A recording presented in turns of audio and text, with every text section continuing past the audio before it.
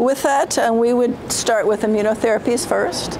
Um, data based on the DREAMseq data really tells us that immunotherapy prior to targeted therapy is the way to go. Um, so we would start out with immunotherapies up front. Um, again, most people would consider a combination, such as uh, the, the relatlimab Nivo combination up first.